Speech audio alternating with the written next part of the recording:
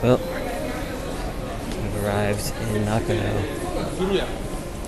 That's where I'm staying this time. Walking through the Sun Mall to get to my Airbnb. Haven't been here in a bunch of years. Let's see how it goes.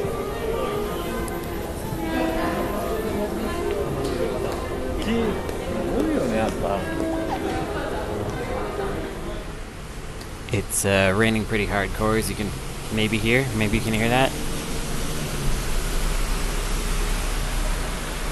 I'm staying in an Airbnb on the fifth floor, so it's not quite as loud as it would be if you were down on the street. Just took a whole bunch of flights. I'm pretty hungry because of COVID and people not wearing masks and stuff. I opted to uh, not eat for the duration of the flight. So you can imagine I'm pretty hungry right now. But everything's closed. And it's raining, and I don't have an umbrella. And I forgot to bring a little power adapter thingy so I could plug my laptop in. All the classic stuff. I haven't been traveling. I used to travel, I don't know, every other month or something like that. Now it's been almost three years, and I decided to spend a whole 12 days in Tokyo. What was I thinking? but it's interesting to be somewhere else again. Think I'm gonna go to the Daiso that I can see from my window here and try to get maybe a lavalier mic, get that power adapter, maybe some sort of a food, I don't know. I might just be eating peanuts today. Umbrella at least. Good lord, people are getting soaked. I'll be here at the Tokyo Game Show. I'll be updating you about that and other things. I'm uh, certain that I will be going to many book offs and the Mandarake Galaxy in Nakano Broadway. And check out all the vegetarian restaurants around here. I don't know. I'll just keep y'all up to date. I'll let you know what's going on. Bye for now.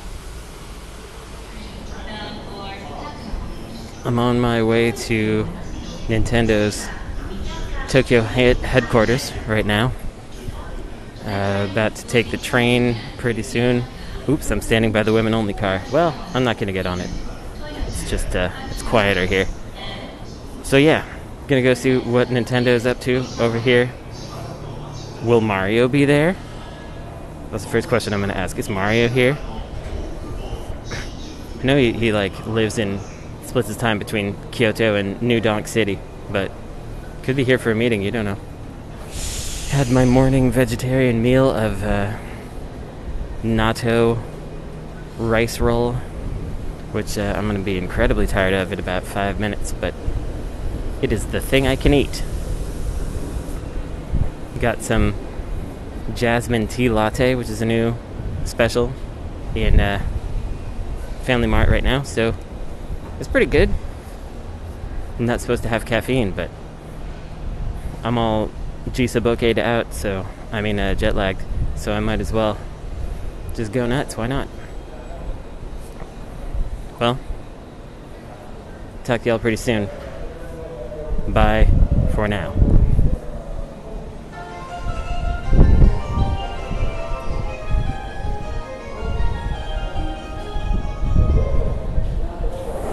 Okay, so I'm still on the train to Nintendo, but I thought I should let y'all know that there's a delay on the KO line because of an unidentified noise. And uh, that was very exciting to me.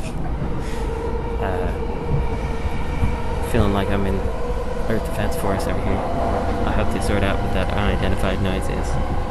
Alright. I'll talk to y'all later. So I just left Nintendo. Went from Kanda to Shibuya, where I'm gonna go to a uh, shared workspace for video game people. called Asobu. Mario was not there at the Tokyo office. Very disappointing. But I did get to see that Grasshopper Manufacture and Platinum's offices are both visible from the Nintendo Spire. That's pretty cool. They got a brand new building in Kanda. They're not the only people in the building, but it's a really nice new building. The newest escalators ever seen, probably. I also saw Shigesato Itoi's office, the outside of it anyway. Didn't go in there. I don't know enough about that guy, they'd probably kick me out. You can hear the cicadas are going for it. Alright, I gotta get back to looking at my map here. I don't know where the heck I'm going. Talk to y'all soon.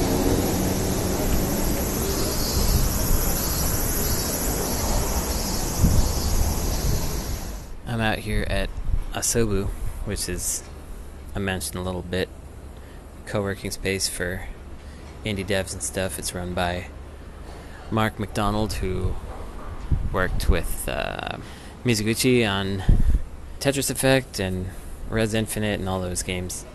They just have indie devs come out here and do work. I don't know, actually don't know how they fund it. He gave me a, a card and I'm just working out here for a little while.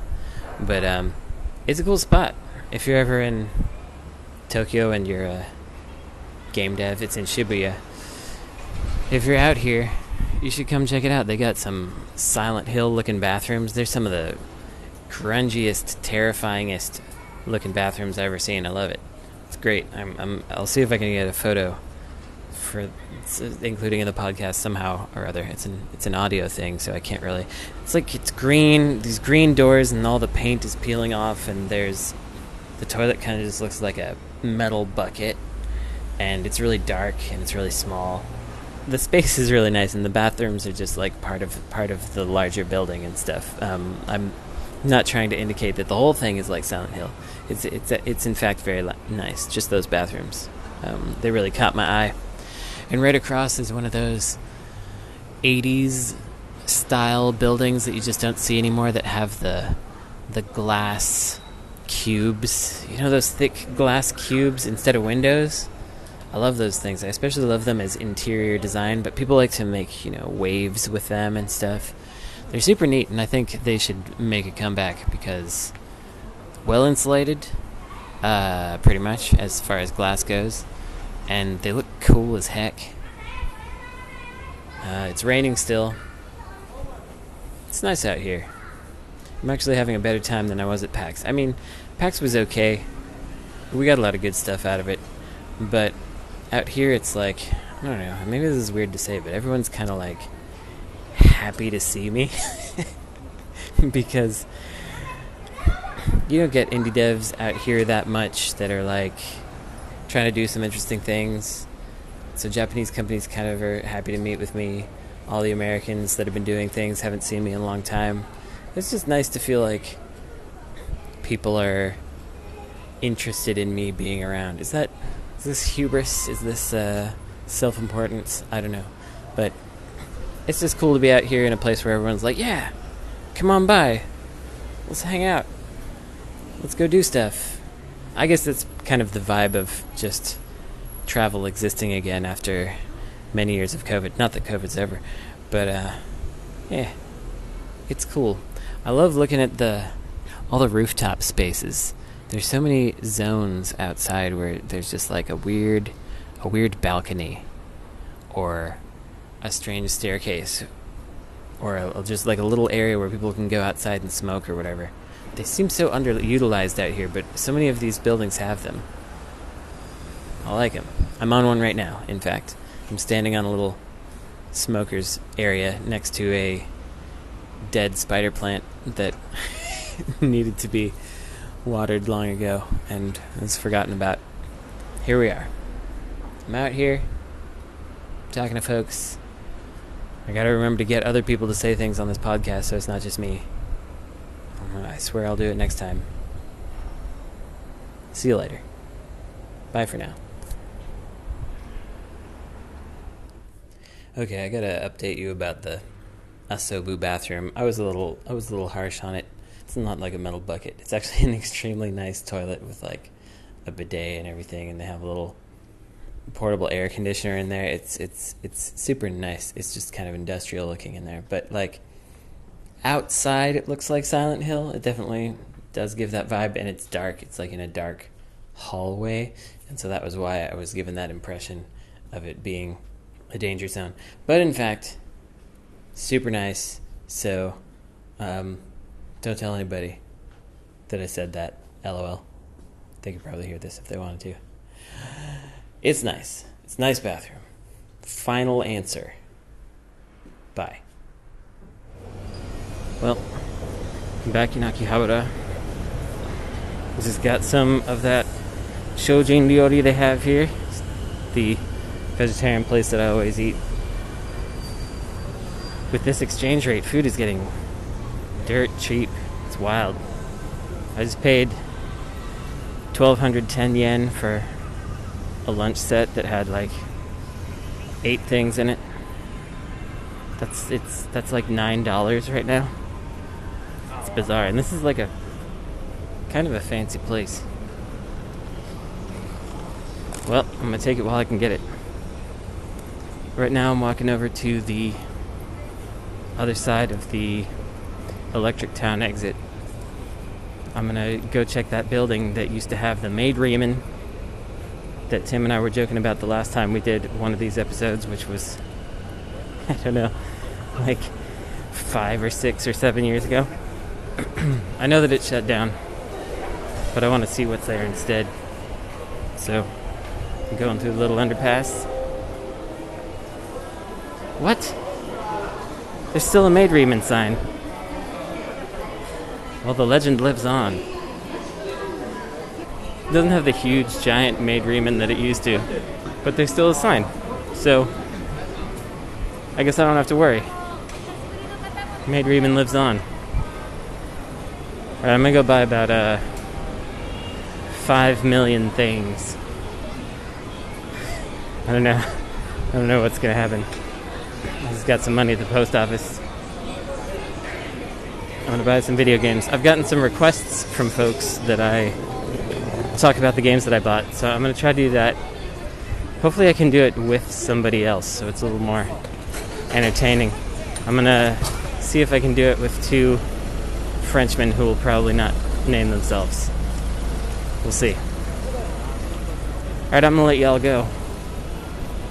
As though you're gonna wait more than five seconds until you hear my voice again. LOL. Talk to you later. Bye for now.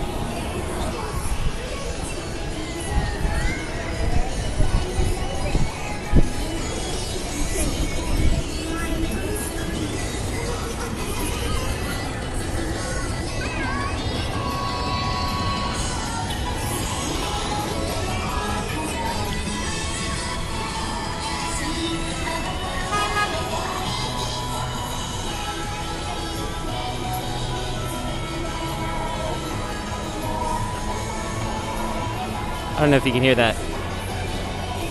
That's the Maidreamin theme song.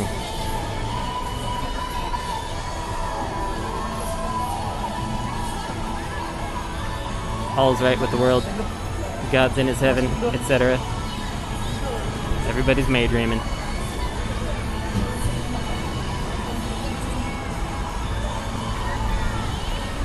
I forget if we didn't explain this joke last time. Um, it's supposed to be it's got maids and it is dreaming.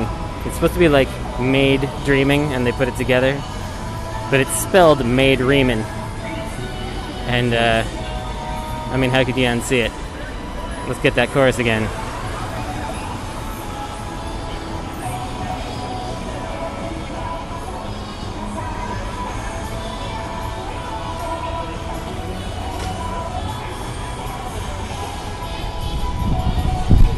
that's enough of that. It's getting windy. Probably sounds like crap. Bye for now.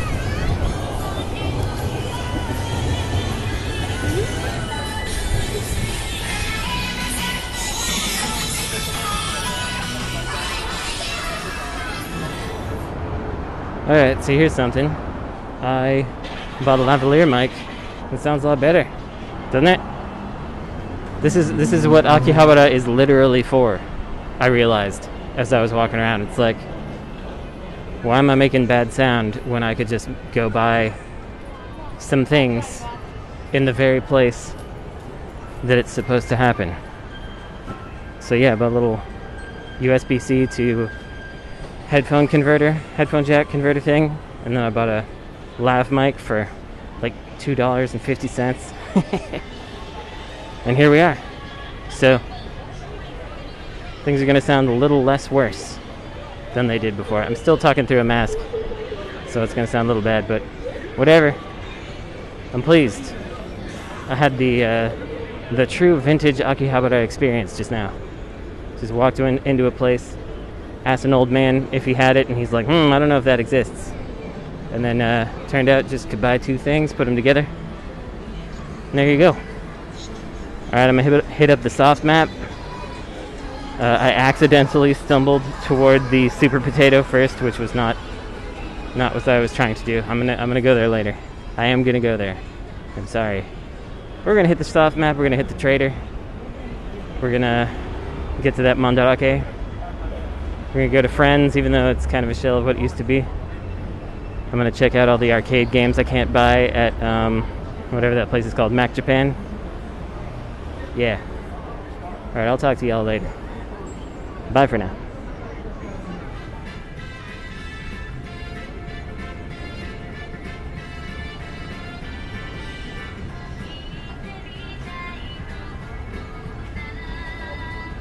I'm here in front of the Shambara.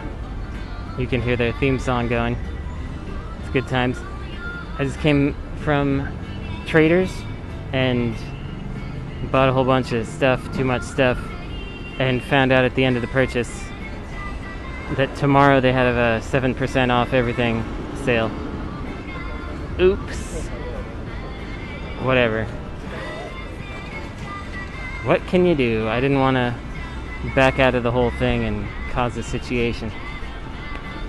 But learn my lesson. Read all the stuff on the walls first.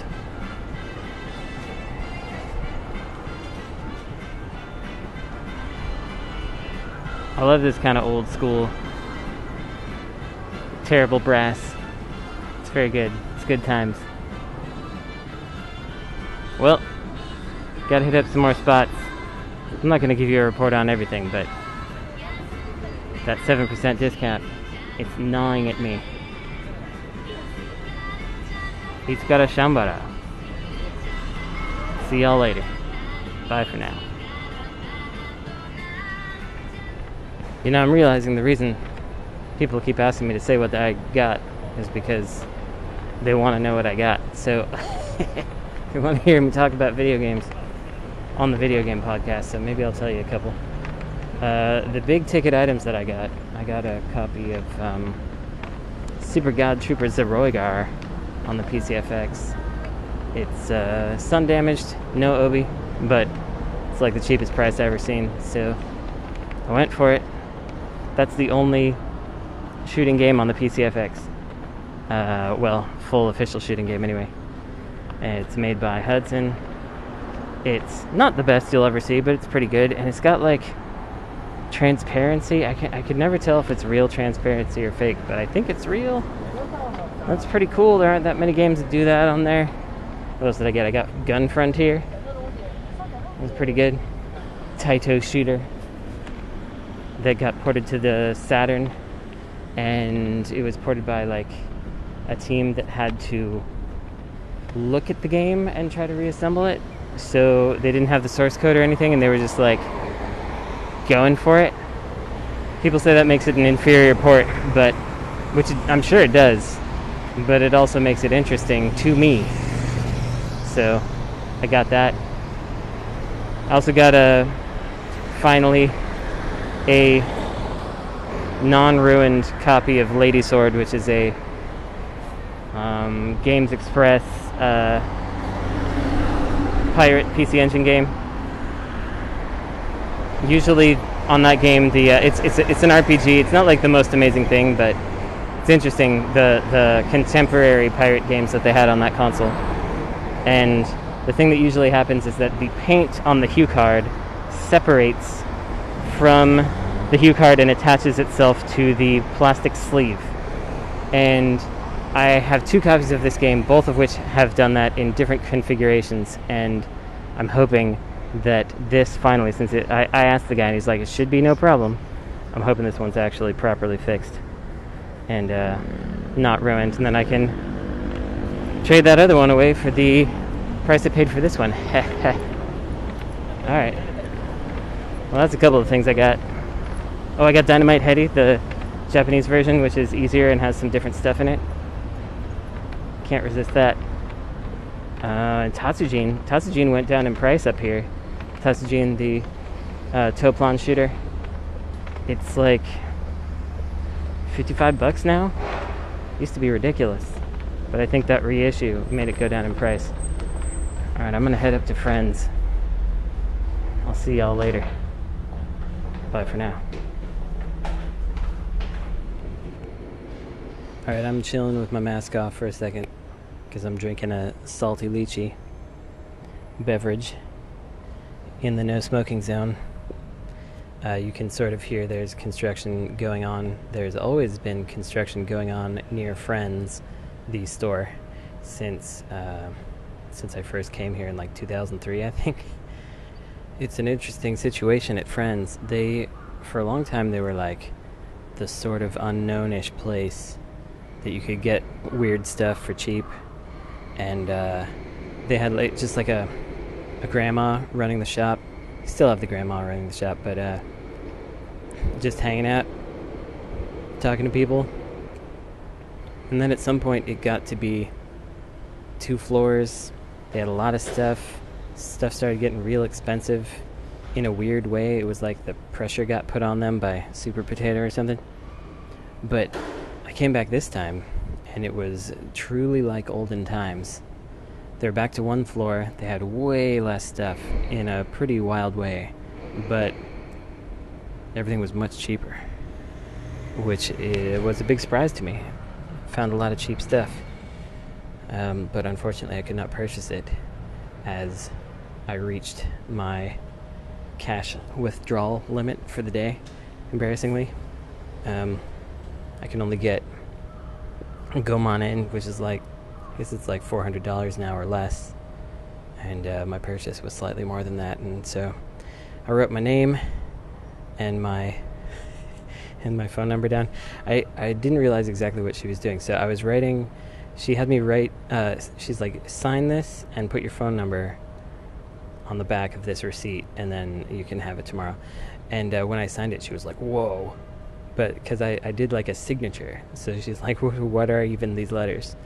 Um, I, I, guess she actually meant she wanted me to write my name down. Uh, she said sign, so I just did the scrawl, and she's like, "Whoa!" Uh, but anyway, she's a nice old lady. I helped her um, discern what this guy was. He was asking for uh, Guardian superheroes, and she's like, "Is that on Famicom or Mega Drive?" And he's like, uh, "I don't know."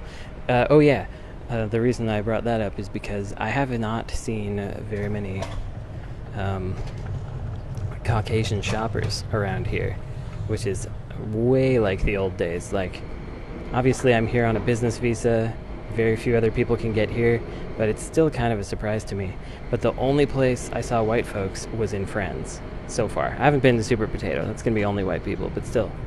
Um, that was a surprise because, like, I went to some other places first, and Friends is Friends used to be like the end of the line weirdo stop and uh, and there were just white dudes who can't speak Japanese in there.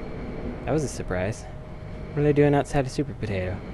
Uh, no offense if any of the people listening to this are the people that were in there, lol. But yeah, once I do purchase it, I'm gonna get the cheapest copy of Mad Stalker for PlayStation that I've seen in a while, which is still too much money. Um, I'm getting a some sort of like Grandia special event CD single that came out what else? What else was was in my pile? I had some kind of some guides. Oh yeah, that's another thing I wanted to talk to y'all about. Guidebooks. are really disappearing from the nation of Japan. It's getting harder and harder to find them, especially stuff that's not like Famicom, Super Famicom. So I got some sort of guidebook for the Saturn. Oh yeah, I got Princess Crown. Um, that's pretty cool. But guidebooks are really dwindling, and there's a lot of stuff that's just kind of like going away. I wonder where the heck it went. Like, did shipping guidebooks out of the country get super cheap? I don't know what happened. Anywho, I'm gonna go back and get that stuff tomorrow. I'm gonna go buy some more games. Maybe I'll talk to you again about that. But I will certainly talk to you again a little later when uh, hopefully I'm meeting Chibi Tech to go look at some uh, wacky cars. I've been warned that the police might come, so I wore my Pig Destroyer shirt just in case. See how that goes. Bye for now. I'll talk to you later.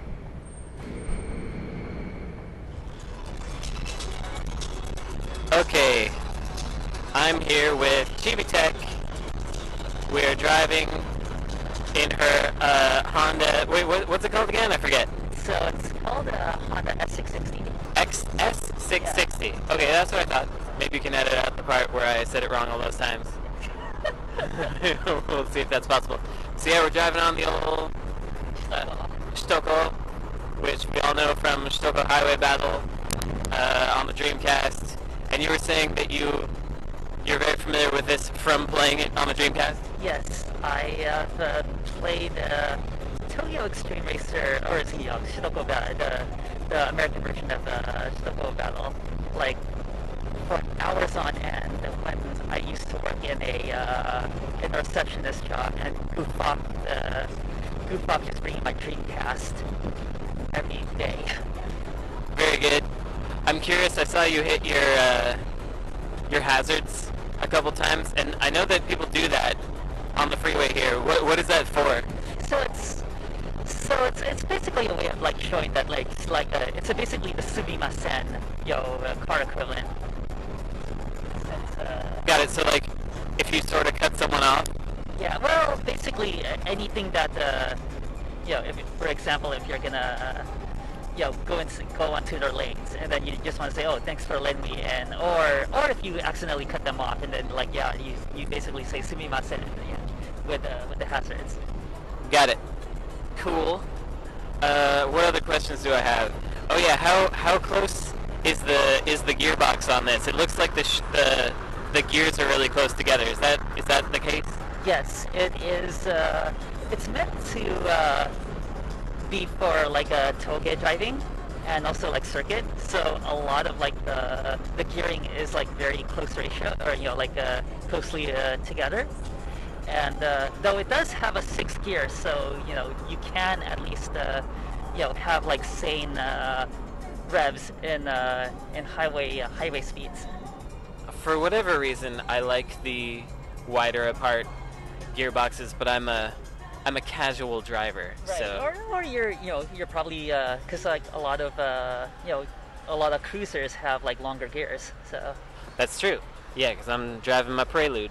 yes. Oh my God! I used to drive a Prelude, the fourth generation one, in fact. Yeah, you were fourth gen. I'm I'm fifth gen all the way. I I I had a third gen for a long time, and I love those flippy up lights.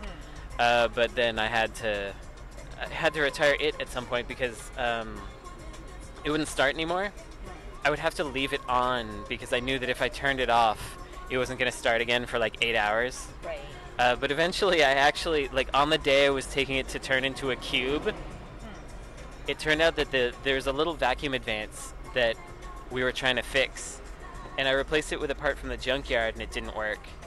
And then I replaced it with a new part, and it didn't work. And I was like, okay, clearly it's not this part. But then the day that we were cubing it, my stepbrother brought me another vacuum advance from the junkyard, and it worked perfectly. And I was like, oh no! Oh my God. And so then it got cubed. Uh, very, very sad. So after that, I was like, I got to get another Prelude. right. And then I wound up with a fifth gen because uh, I, I just love a rounded wedge. My brother actually had a fifth gen. Oh, yeah? He had like uh, the 1990, like the first year of it with uh, so '97. yeah, and uh, yeah, it was definitely a lot comfier than than the fourth gen. Even though I think the fourth gen is okay, is the best one in my opinion, of course. Yeah, I understand. Uh, it's my least favorite, Oh my god. but only because of the look of it. I because I the tail lights? It's the tail. Well, it's it's actually the whole thing. I don't like the taillights, but also the, I just, the hood. It's so it's so smooth and oblong. It's very Y2K, which is great, but it's just um. I need it to look like a doorstop. Right. Yeah. See the, I know that the the fourth gen was like considered like the, like the bastard child of Yeah. the of the Prelude line, just because it had like all this uh, weird things like the Star Trek dash. Yeah.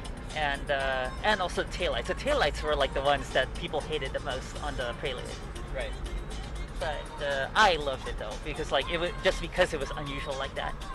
Yeah, I understand. And they did try quite a few things with the Prelude line. Like the third gen had the four-wheel steering, so if you if you racked the wheel all the way, then the uh, the back wheels would turn very slightly in the opposite direction. Right. Yeah. The the fourth gen also had that, but it was like electronically controlled. Right. But unfortunately, that, this was the time during the time that uh, uh, you know, like uh, electronically controlled uh, like uh, sensors were still kind of like you know in its infancy, like Yeah. as far as development. So like a lot of like the four wheel steering uh, uh, modules in the fourth gen Prelude like just gave up. Yeah, they failed. Yeah, the third gen, it those those still worked, and I actually found it like like preludes are not meant for drifting whatsoever. But Right. in the third gen, you kind of could you, could fake drift because of that. Because like if you really turned it, like your wheels were all going that way, and you would you would slide, I guess. Right. Yeah, just like uh, I know there's a couple of people who like uh, do uh, like uh, rear wheel drive conversions of the the Prelude, where they they just uh, they just take a longitudinal engine and then just uh, engine swap it, and then uh, just basically put a rear drive shaft onto the rear wheels. Well, that's impressive. I hadn't heard about that. Boy, I hope that this extremely loud tunnel sounds great to all of you that are listening right now. Can you even hear what we're saying? I don't know. I am so sorry. I should have probably cut the top. No, no, no, it's good. We have we have the top down because it's fun. Uh, that's why there's all this noise. That's why we're having to yell into the microphone. I'm gonna pause for a minute, and we're gonna talk again about where we're going after after after these messages. Uh, all right.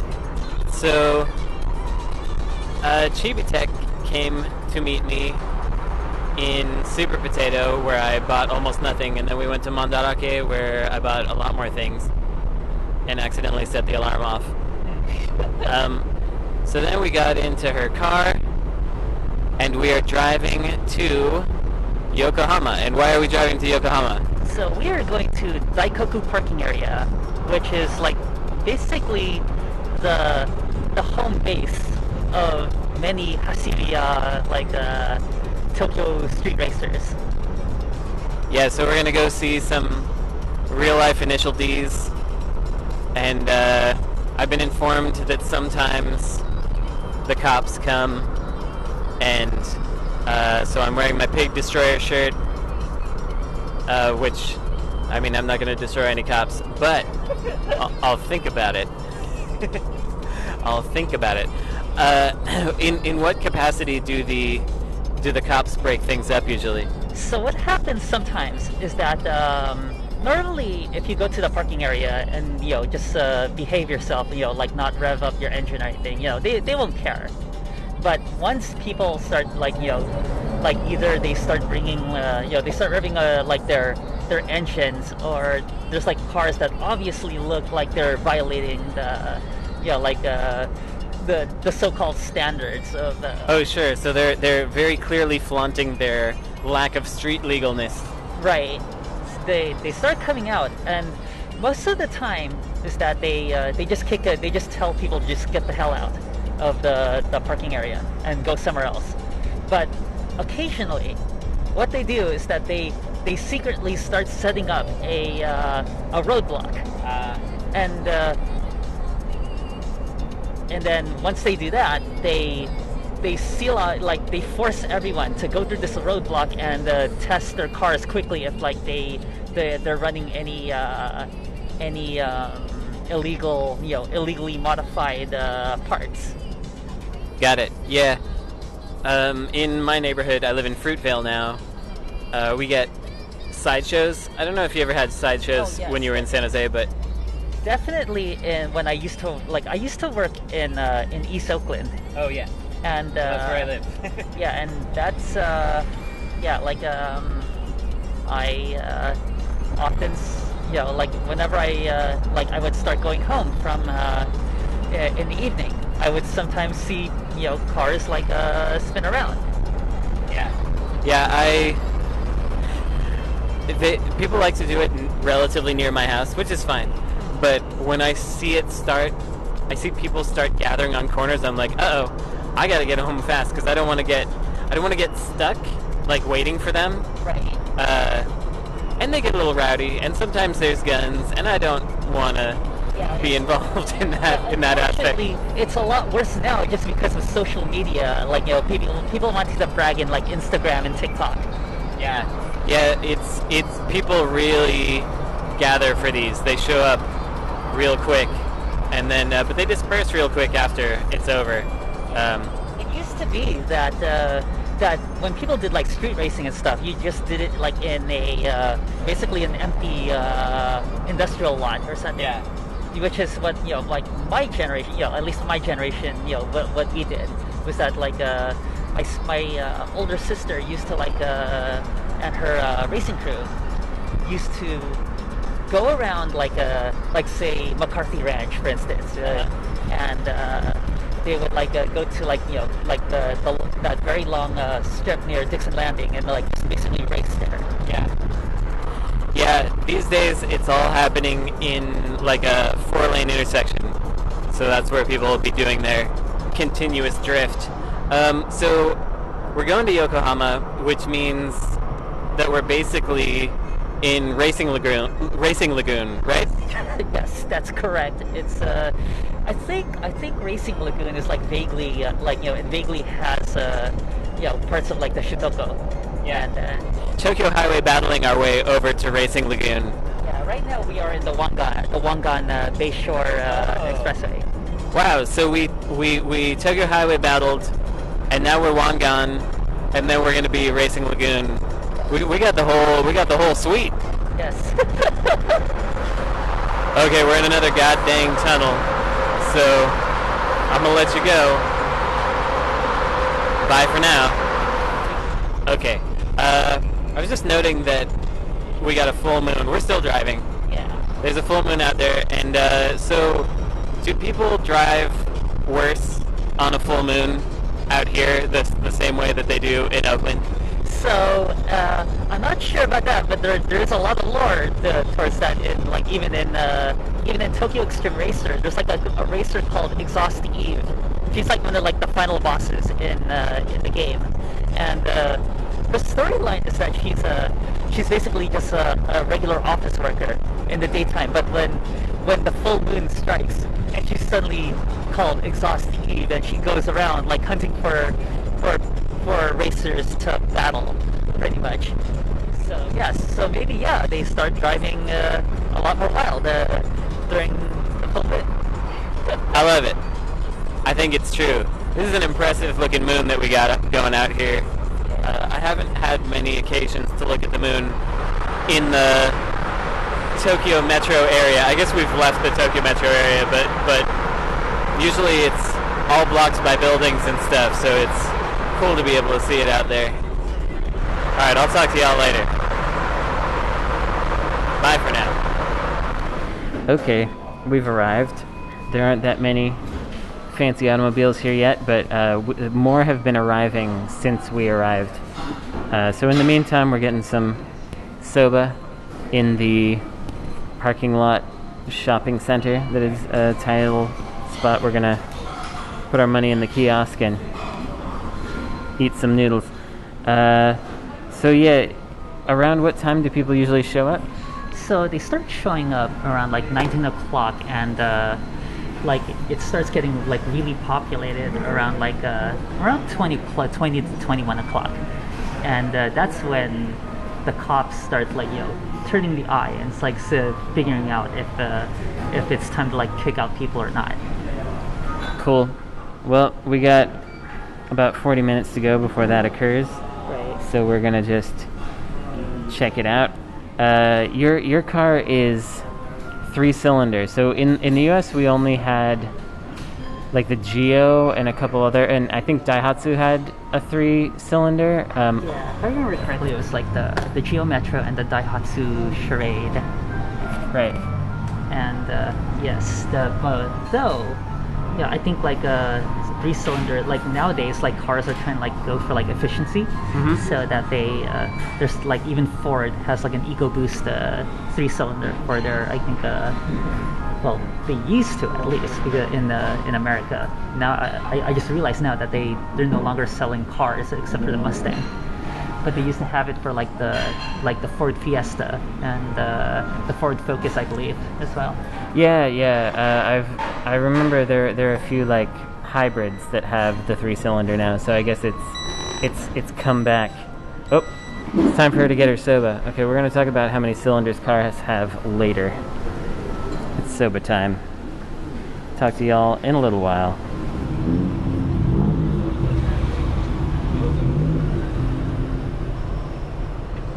Everybody's rumbling their automobiles. And, and this one's rattling. And that doesn't sound like anything.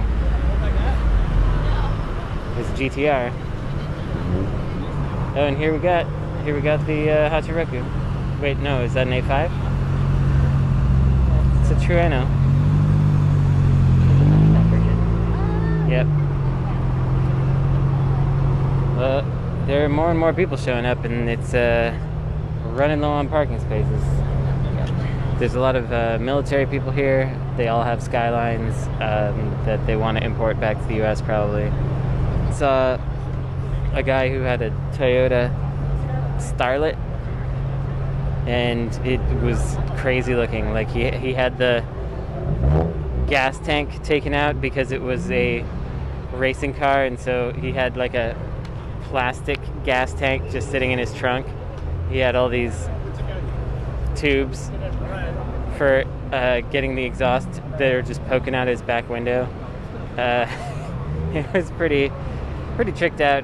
A lot of custom body work going on. It was a wild automobile.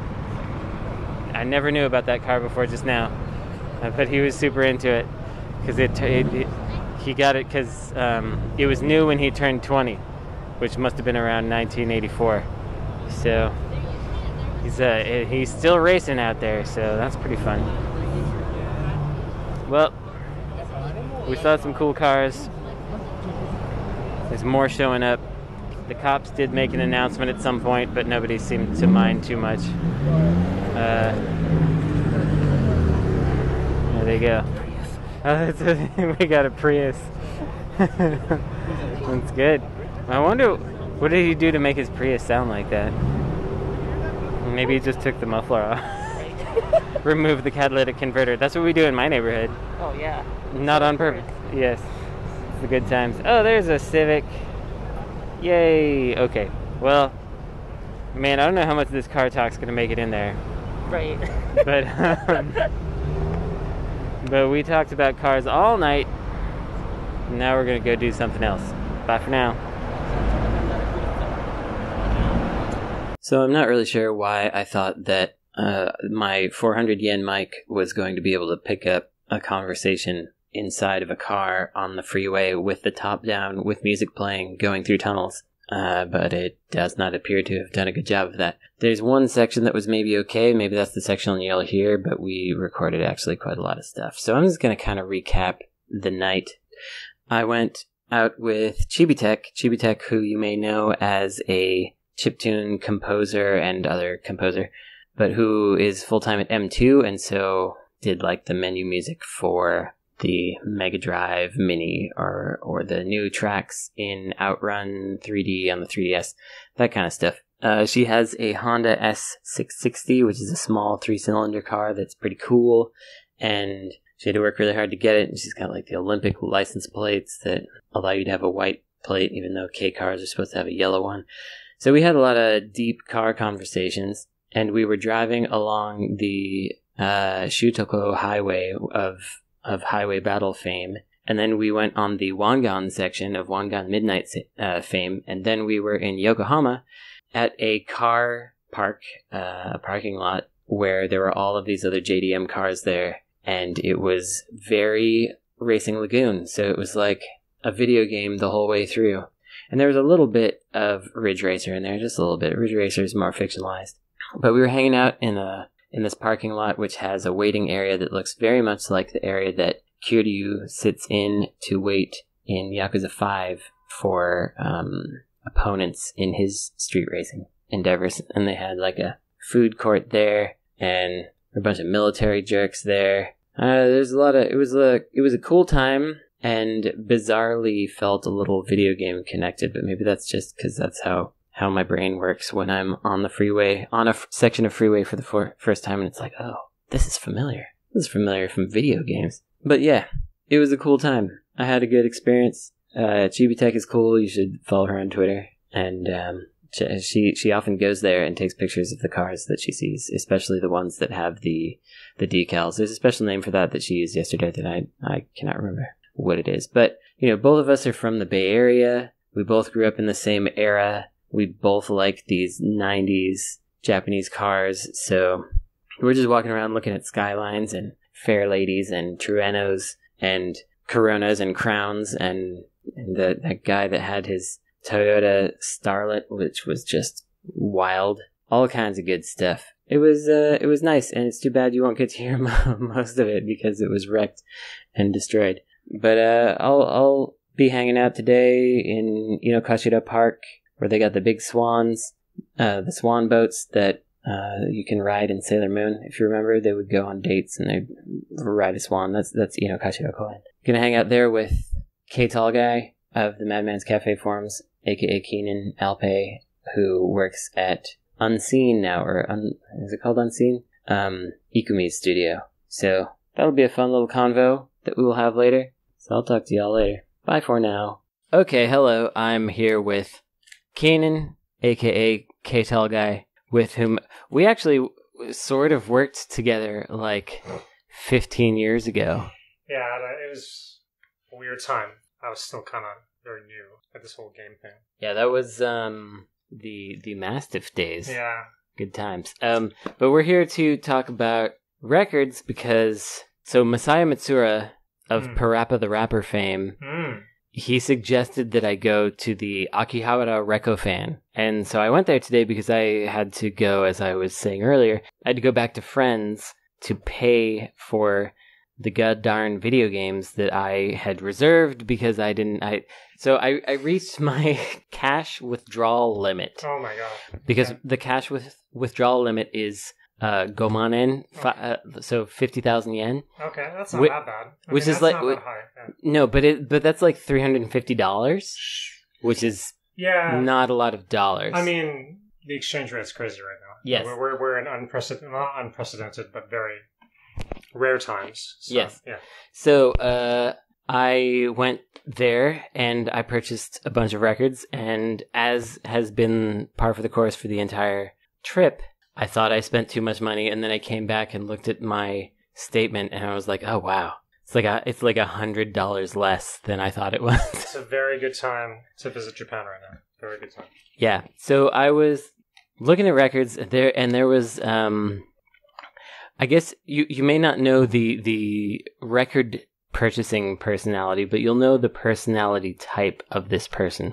Mm-hmm. It was there was this Ojisan who had his mask down around his chin. chin mm-hmm. uh, and he was making as much noise as possible browsing all the records. He was just going like thump, thump, thump, thump. Slapping around. He had some sort of method that I'm not really sure what it was, where he would, with full 12 inch uh, LPs, he would like pick them up and thunk them down so that they would go like thunk, thunk, thunk. But he would do it with both hands, so it would be like thunk, thunk, thunk, thunk, thunk, thunk, thunk, thunk, and he was just like blamming through all of them. And hmm. it was driving me crazy because I just couldn't I could not escape the sound of him doing it. I have part of the whole misophonia thing that I have Yes. is like Mhm. perseverating motions and sounds, Mhm. especially when they're like rhythmic but slightly off. It's Mm-hmm. it's just like really tough. So I, I I put my headphones in, but um smart, smart choice. I think I think there's a bit of a like I'm the king of the jungle with that guy. Definitely. Yes, yes. So, uh, like we were talking about earlier, when you feel a loss of freedom Mhm. in your life, these kind of microaggressions Yes. become a way to express yourself. That's right. And I really felt that from this guy that he was like, this is the way I- I'm going to assert my primacy in this domain by making as much noise as possible. this is the place. This is the this is my place. This is my time where I can show like I'm still relevant. Yeah. And I was too slow for this guy, and so he kept having to maneuver around me. But meanwhile, I was trying to maneuver around him because I didn't want to hear his noises. Um, and then he went. started started like you gotta, you gotta start at the end of it, and he has to start at the beginning, and then so Yeah, exactly. Is, yeah, minimal. Yeah. That's what would have been nice, but he was. It felt like he was following me around. Um, because then he went through all of the 45s, and I was like, there's no way he can make as much noise with the 45s. But he found a way because he would like flip the 45s with like a, a flick of his Uh, thumb, so he would be like, bam, bam, bam, bam, bam, bam, or bam. something. Yeah, it would. this guy, he followed me around the whole dang place. Um, anyway, let's talk about let's talk about records. So, um, uh, here I got um, Mari Hamada, Mhm. Love Never Turns Against. This is this is an album that I first got um, on CD uh, at a Goodwill in Torrance, California.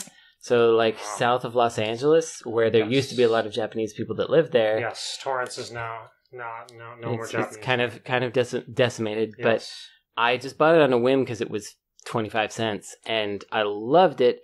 She's Mm. like a she's got this hard core. She can really belt out a a note. Like she can take a Mm. note and just like sustain it for a super long time. So she's really good at rock music and that's what this is. So this She's is a rock album. it's a rock album. What, what do you know the year, the release year? Oh, Or, it's like approximate. like I, I would say approximate 92. Oh, okay. So it's in the nineties then. It's in the 90s, I think. We're hitting we're hitting uh Heisei. Yeah. hitting- okay. Yeah. All right. This one I don't know anything about. This one I just bought because it was cool. This is what uh, Nice. Baby Baby Yumiko. Yamashita.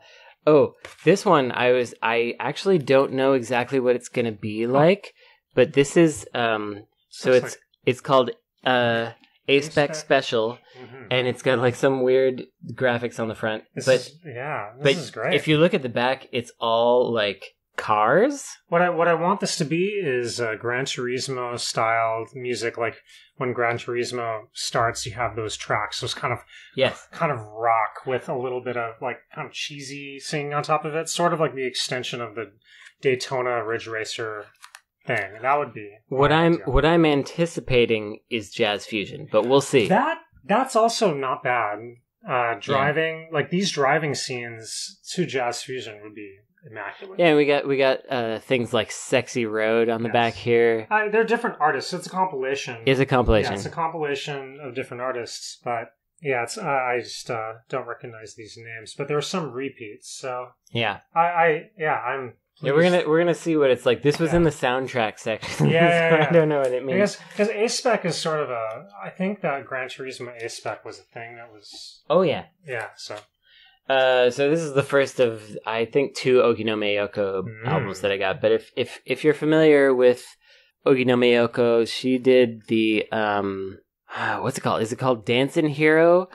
Repopularized recently before the city pop boom hmm, by a Japanese dancing troupe. Did you see this? I do not know. So there there was a Japanese dancing troupe that did a bunch uh uh well this was the big one that they they did they did a couple others but um they did like everybody it was a bunch of dancing women and they dressed up in like late 80s OL Oh, outfits. Yes, yes, I know this. I know this. Yes. Yeah, yeah. Um, they did. Um, it's the bubble. The bubble. Yeah, the bubble era. It's it's the Osaka troupe. yeah. Yeah, yeah, they're great. They're Yeah. amazing. Yeah, they're they're super good, Yeah. and so they they they hit their stride and, and became viral with an Oginome Yoko song. The Do Called You Want to Dancing Dance Tonight song? Um, yeah, it's it's called Dancing Hero, and I don't have it on here. Um, Oh, this okay. this I album is I didn't not know that. But, was Dancing Hero, but that's a great. Yeah. song. Yeah. Yeah. Uh, this one is just one that I like. Let's let's skip it. Uh, this this one Okay. here we got Kaoru uh, Kohirui Maki, which is a very unusual name, Kohirui Maki. and she has this album called um, No Problem, and it's a sample edition That that, would have been would have been sent to a radio station. That is interesting. Uh, I got it because she's wearing like an adult Girl Scout costume, Yes, sort of. yes. I'm not really sure what it is. She's got combat boots on.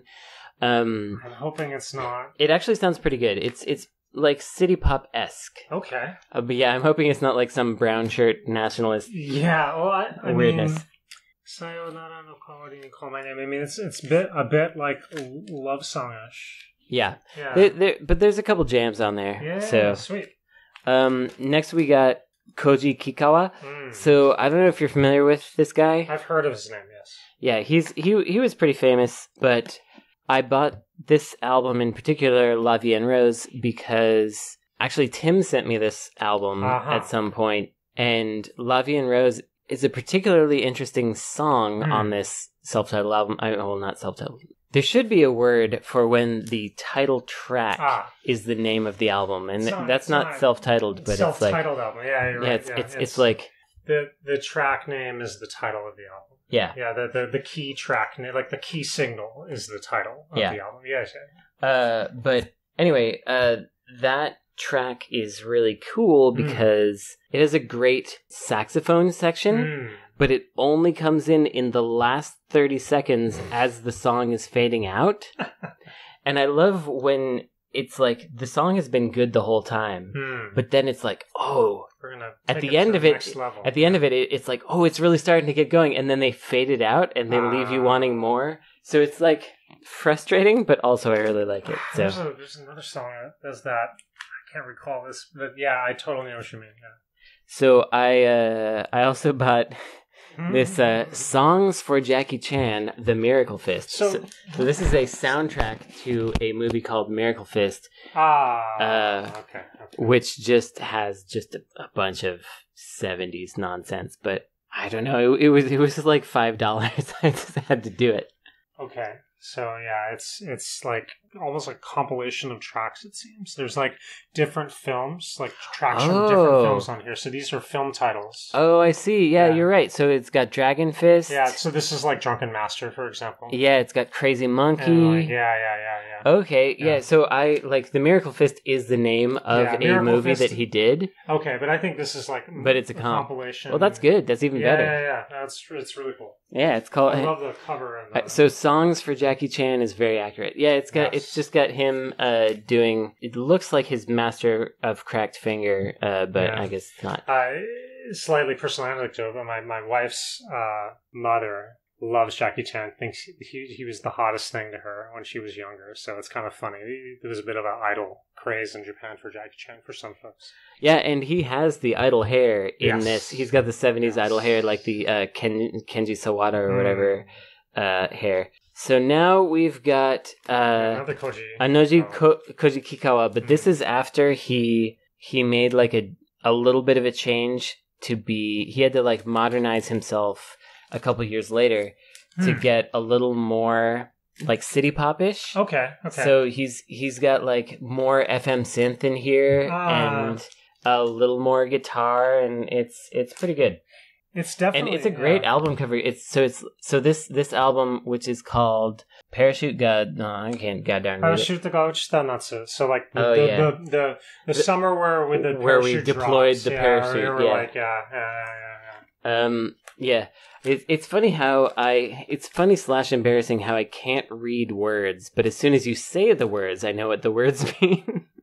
It's you know it's just a long nerd long nerdy years. But I will say that like this this gives me like a what was the in when in the eighties like early nineties late eighties the not Fisher uh, those like those like Are you talking about like the Memphis design stuff where they had all the? No, I'm thinking of like those those like planners that kids would have in elementary school. Oh, the Trapper Keepers. Yeah, Trapper Keeper. This cover gives me a Trapper Keeper vibe. Yeah, for sure. Yeah, it, I mean, because he's he's he's got oh an all white suit. Yes. He's got shoulder pads. He's got a blue guitar, Yes. and then there's a, he's against this pink background, and he's got a friggin' Sony PVM monitor, yes. like the it, and it's like the five inch version. Yes, yes, it's definitely of the time. And but it's it's like the only other thing in the photograph. Yeah. It it I love it. Yeah, it's, it's great. beautiful. Yeah, teeny Um, bop, teeny bop, almost. Yeah. So we got here we got uh, Eikichi Yazawa. Um, this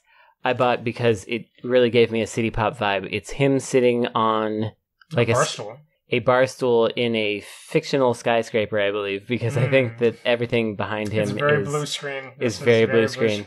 but uh but it's got this cool thing where the sleeve has a cutout Mm. of an E, and uh, and you see him through that, and I think that's that's what really drew me to this particular album This here. is in great condition too. Yeah, it, it Uh, looks really nice, and I like the uh, the font on the back, which is very Mm. reminiscent of. Oh God, I'm blanking on the name of the guy who did the um, Duran Duran covers, Uh, but it's like that font that he used. yeah, yeah, yeah. And Ball and Chain is uh, is one of the songs on here. I want to hear about that. It's really good. This is also some FM synthy funky stuff. Mhm. Uh, and because I listened to this album on my phone, oh yeah, I meant to mention this. It's not like I know who all these people are. Some of them I know who they are, Hmm. uh, like Oginome Yoko and um, Koji uh, Kikkawa. I know them, Mm. but uh, a lot of these, what I was doing since I had the time today, is I, you know, I've got a data plan to escape this annoying Oji-san who's making all these thonking noises. I'm gonna put in my Bluetooth headset and just play every album that looks interesting on just- you YouTube. Just YouTubing it, yeah. I mean, Yeah. that's that's smart. And there is honestly like I know city pop is booming and all that, but there's a lot of great music from the era that was lost here, and that people, you know, people here, uh, they do recognize. Like you go to Koenji, you go to some of these areas, and there's just a lot of these stores where people are looking through this stuff. So it's nice. It's nice that you can listen to it on YouTube and kind of get a feel for it. But there's Yeah. a lot of hidden stuff out there. Yeah, there's there's like one of the things we'll get to later. There was Mm. there's like only one thing that you can find pretty much period to listen to. Mm. Um, and actually, there was a show that I wanted to go to last night, but I was busy being in Yokohama looking at cars, Mhm. which is called something like it was called something like Diggin' CDs, and it was actually just like three blocks away, and it's multiple DJs who go through '90s CDs from Japan and Hong Kong and Mm. find like cool deep cuts, which is exactly what I do. Mhm. and Mhm. so I was really interested in seeing it, but it was just bad timing. yeah. So here's another Eikichi Yazawa, Mhm. which I got because I liked that other one. This is uh, Seiko Matsuda, Seiko Matsuda, Okay. and Yeah, yeah, I like. I like her because she's got this song called Aquarius Hmm, yeah, yeah, yeah. on uh, her album that I don't remember what it's called, but it's it's red, and it just has awesome synthesizer sounds that are not. It's not like FM synth. Mhm. It's like a different. I I don't know how to describe it, but Yeah. it's it's got like a breathiness to it, and it's Yeah. it's, it's really cool. Well, so Matsuda Seiko's great. Yeah, she's, Yeah. she's she's definitely like when you turn on TV in Japan, you, you she's like definitely on those top tens. Like, Yeah. yeah, she's she's a popular lady. Mhm. Uh, here's another Mhm. Koji Koji Kikkawa, Mhm. uh, where Man, he this is almost visual chaos. yeah his his the, what what this uh this cover is giving me aside from the like the cool cut-ins and Uh-huh, things like uh-huh. it sucks that nobody can see this um but the the, the album's called innocent sky if you want to follow along at home you should look up the Um, cover. it's great. the but the cover is also giving me he did the song called berserker and um he's a uh, he's a british artist that i like a lot whose name i'm friggin' blanking on. Um he's a pretty famous guy.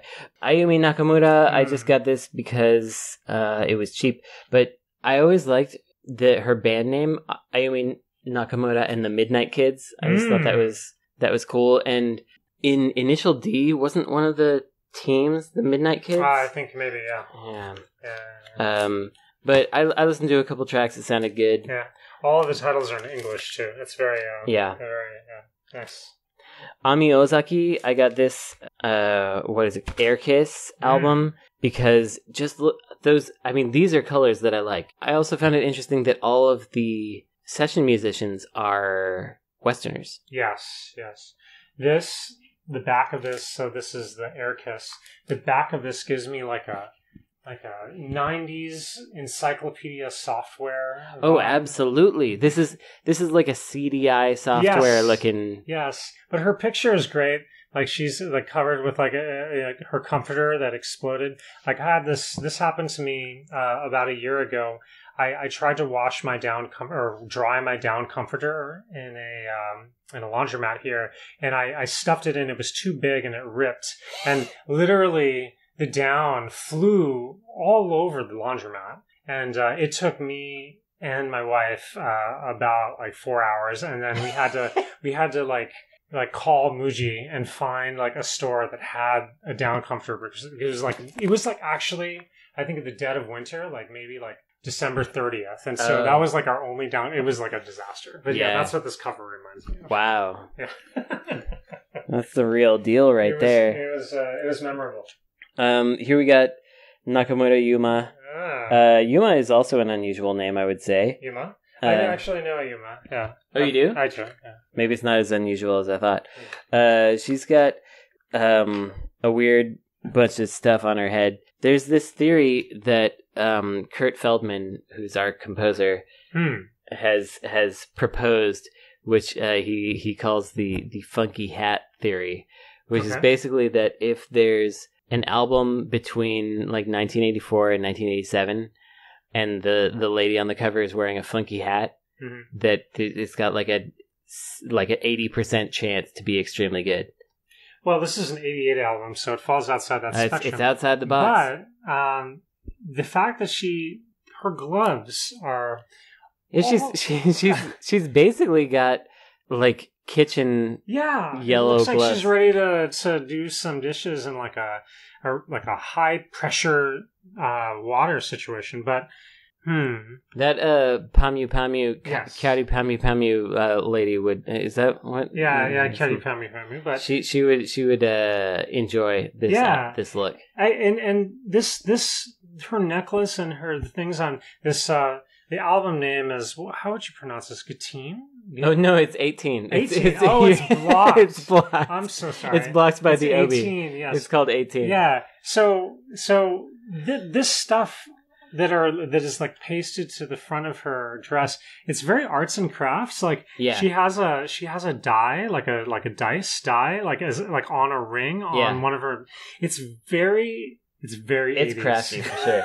it's crafty. So now here's here's here's a really cool one. All right. So this is Mariko with cutie with cutie. No, sorry, Mariko with cute. cute. Mariko with cute. IOE. Uh, it's uh, Ice Age. Ice Age. Oh, Ice Age. Yeah, it's Ice Age. Um, and it's got a bunch of gems on the Ice front. Age. So this album is I. This is actually the most expensive album I bought. It was uh, Yeah. It's also a sample. tw- yeah. It's also a sample. It's twenty four eighty yen, uh, which turns out is like eighteen dollars.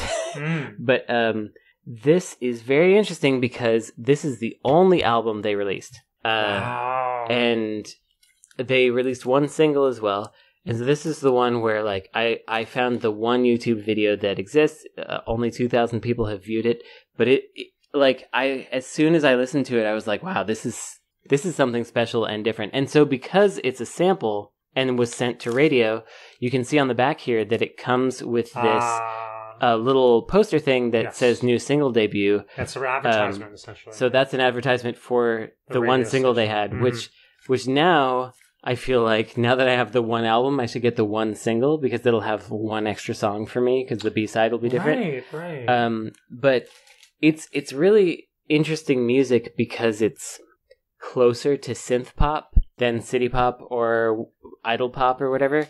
It's it's a proper band and they have like a weird warbly vibe that is cool and different for the era. It almost reminds me of um, Jun Togawa. Like if Jun Hmm. Togawa was a, were a better singer, um, hmm. it's kind and, and we're more serious about making pop music. Hmm. Uh, I mean, Jun to- Togawa is all about subverting it, but But- um, So, so this Mariko with cute. uh, Do, do we know what her name is? Like, do you think? her name is Mariko something. I Okay, forgot. I forgot what her last name is. Because I'm like, curious if she had a a if she had a career outside of this album. As far as I know, she did not. Okay. Like the, the this is the thing that she did. Hmm, Okay, yeah. So that's this is definitely one of the ones that I'm most excited Yeah. about because it's an unusual one. Also, even the obi is weird. It's really Yeah. skinny, yeah, yeah, yeah. and the fact that like you misread Ice Age Yes. because it it There's the, like a misprint. the C is an O for Yeah, sure. yeah, it's hundred percent an O. but in the but in the cover, But it's in the cover, it's it's correct. Yeah, so there's definitely yeah, it's it's it's definitely like a bit of a like they're just starting out. Feeling. Yeah, and it's and, and it's on Invitation Records, which is not super yeah, familiar to me. yeah, yeah. Uh, so I'm this this one is like super cool. I'm gonna sh- I'm gonna show you this later. Uh, the the the one song that we Mhm. have. So here we got Raspberry Wind. That's Mhm. another um, Oginome Yoko album, Mhm. and I feel like this album is actually super underrated in terms of the city pop scene Mm. because people don't really think about her in the city pop arena because Mhm. she's more of an idol singer Mm, but yes, she yes. she has at least two albums that are very much like in that funkier vibe and raspberry wind is definitely one of them and it's a super underrated album so check that one out Oh, yeah, it looks great. Yeah, I love the, I love the, the atmosphere of her on the cover too. Absolutely yeah. um now this one this is uh That's one- one- mariko tone Mm. uh purple rose the first track this is another sample not for sale album Ah. uh, and so we got a little little little Yeah. poster of her Mm. um the it says Mariko Times. It's like a fake newspaper. Uh the first track on this album is just like Broken eyes. is like unbeatable in Huh. terms of if you like that hardcore tunes kind of like big bass synthy Ah, stuff yeah. from that era. The real funk. Yeah. Yeah, it's Yeah. it's really good and uh this album was uh 1480 which is like I don't know like 11 bucks at this point. Huh. But uh it as you can see it's got damage. Yeah, a little damage. It's got damage on it. It it has a, a bunch of like messed up spots on the cover, but the disc is fine. And Sure. so like I'm very happy to get this for this price because Yeah. this is like one of those albums that that first track actually does show up on a lot of people's like like Americans city pop compilations Huh, and so this is one of those albums that is eventually going to be like a hundred bucks. sure. So I, I I love this tagline. It's like um basically like to translate it, it's basically like you're gonna fall in love more quickly now with more professional women. It's almost like a like yeah. Yori professional naonae ima. So yori professional naonae is like for women looking at this like you need to be more and more like a professional. So it's it's very it's like that eighties like we're coming out in the world. Yeah. Feeling.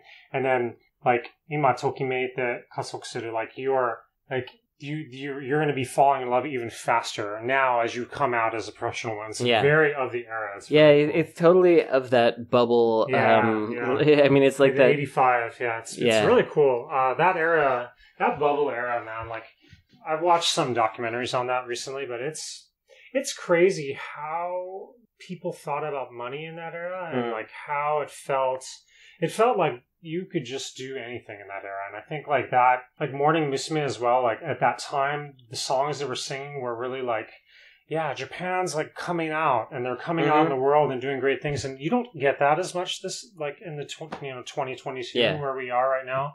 That energy kind of dissipated, but at that time it was just exploding. Like people were like, "We're taking over the world." That was the Yeah. mentality then, right? I was surprised in fact that Hmm. Yakuza 0 Ah. managed to truly like evoke that feeling Hmm. and it, it was Yeah. clearly not like Kiryu and Majima were not experiencing that yes, but you could see everything around them and the, the conversations that were having around Mm. that were happening around them Yep. people were experiencing that and Yeah. feeling that way and it i don't know it's it's it's, it's neat to think about that era Yeah. in retrospect and experience it through media because and then come here yeah, to Japan where like the remnants are here Yeah. to some extent but they're but a lot of it has been hidden and like it's also like I was in this shop Hmm.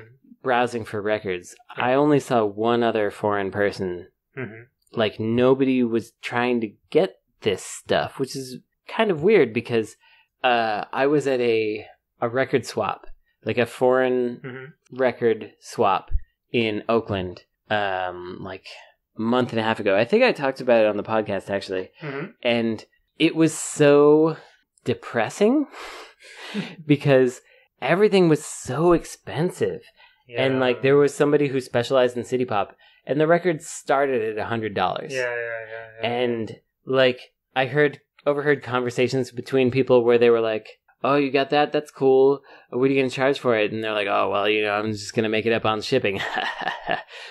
Because when you look at Discogs these days, yeah, uh, you can find a record that is like desirable but at a decent price, and then the shipping is like fifty dollars. right, right, right. Well, that's how they bump it up, right? Cause Yeah. yeah. But of course, like it's actually going to be shipped media mail, and it's going to cost three dollars. Of course, So that's the way. yeah, But regarding Yakuza Zero, um, which I need to finish, but that game, when you beat up enemies, money flies out of them, right? Oh, yeah. Really, it's really evocative of that. Like, like you look at like speaking of that that dance troupe, the Osaka dance troupe that was doing that, um, the uh, the bubble dance. Uh, what, Yeah. What was that song? Dancing Hero. doesn't hear. Right. Like in those days, like people would like flash like like like three uh, ma- uh ichiman uh, bills, like uh, ten thousand dollar yen bills, to taxis to try to get them to stop Right, right. because that was like how fluid, how much money people had on them, and so it, it's yeah. I guess I, that that game really did a good job of showing hmm the point, like yeah, that that moment. It was also. I, I also sometimes think about how, like, kind of retroactively in history, as I think about this stuff. Um, I didn't know about the bubble era when I was growing up, Of course, yeah. But but then um, when Final Fantasy VII came out, Mhm. I heard about in the American news how it was huge and it, and it was like a resurgence of economy for Japan. Hmm. I still hear Japanese developers talk about like 1997 or whatever as a year when games really sold well and they wished that they could go back to that time or whatever because it was like some of those people had lived through the tail end of the bubble era Yep. as children or teens or whatever Yep. but then they got into this kind of like more of a recession era yeah. and then Final Fantasy VII was like doing gangbusters, and it made the PlayStation come up, Yeah. and all these other games were coming up with it, and they were feeling like, oh, this is bubble era for me now. yeah there's some euphoria there and yeah like I, it's very it's very similar like when i graduated from college in 2005 like i i i came out uh, of college and got a job and then right after that the recession hit Yeah. and i was i just just missed it right so like it's a lot of reminiscing of old eras in japan like Yeah, and I think that's that's equal for a lot of places, but especially like the relevancy of these games in Japan. You know, console gaming in Japan is kind of a it's a it's a minor hobby. Uh, excuse me, it's a it's a it's not a normal thing. People are all on the phone. yeah, So yeah, that era of like wanting to make something, you know, that says something that is artistic for uh, game creators in Japan, it's it's sort of a bygone era in a way hmm and uh, people are still trying to figure that out.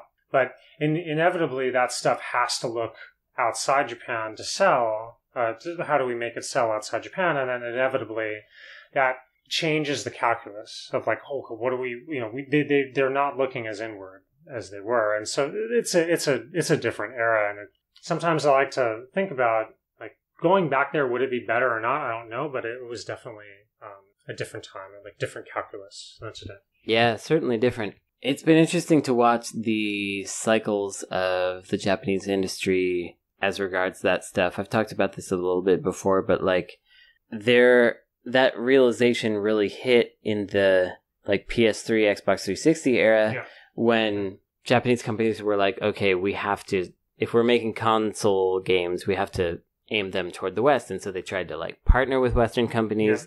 They tried to make games that would appeal to Westerners Yeah. based on their ideas from here. Yeah. And none of those things worked at all. Yeah.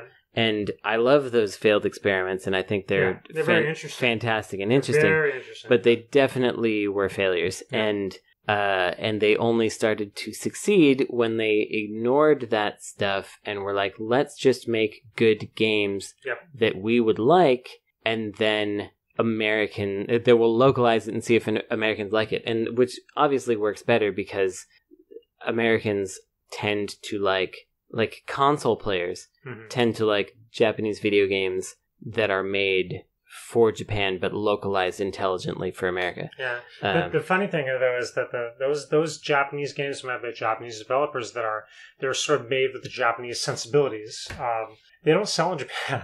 right? No, they don't. Yeah. Yeah, so it's it's it's like ultimately they figured out the formula, which is just make games for for us in Japan. Mhm. It won't sell here, Mhm. but that's that's how you make a game Yeah.